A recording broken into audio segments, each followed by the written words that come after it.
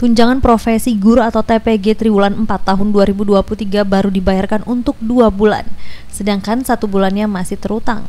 Ketua Serikat Guru Indonesia Bengkulu Suhadi meminta agar sisa TPG ini bisa segera dibayarkan. Bayar, eh, dibayar oleh pemerintah sesuai dengan jadwalnya keinginan dan tidak ada namanya istilahnya itu pemotongan kalau tiga bulan cair ya harus tiga bulan Sementara itu dikonfirmasi ke Kadisdikbud Provinsi Saidirman, TPG Triwulan 4 baru dibayarkan untuk dua bulan, sedangkan satu bulan menyusul di 2024. Karena anggaran yang tersedia dari pemerintah pusat hanya untuk dua bulan.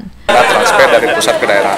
Jadi kepada kawan-kawan guru saya harap untuk bersabar ya, karena ini memang betul-betul kita ini apa namanya kekurangan dari pusat bukan kita pemerintah daerah nahan istilahnya. Nanti kita akan upayakan secepatnya. Kabit Anggaran BPKD Provinsi Bengkulu Emriski Alfadli menyampaikan anggaran TPG Triwulan 4 memang kurang satu bulan karena dana digunakan untuk membayar TPG dan tambahan penghasilan atau tamsil guru sebesar 50% pada momentum Hari Raya Idul Fitri.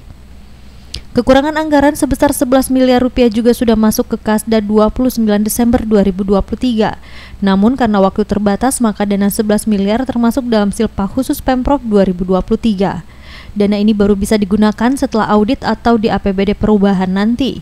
Guna mempercepat penyaluran, saat ini BPKD Provinsi sedang berkoordinasi ke Kemendagri agar pembayaran TPG Triwulan 4 bisa menggunakan alokasi TPG di 2024.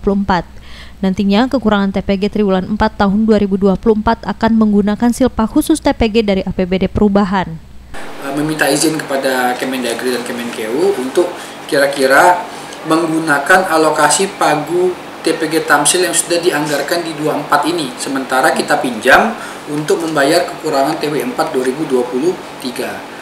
Nah, nanti kekurangan berjalan di 2024 kita ambil dari silpa yang sudah masuk ke kas daerah kita.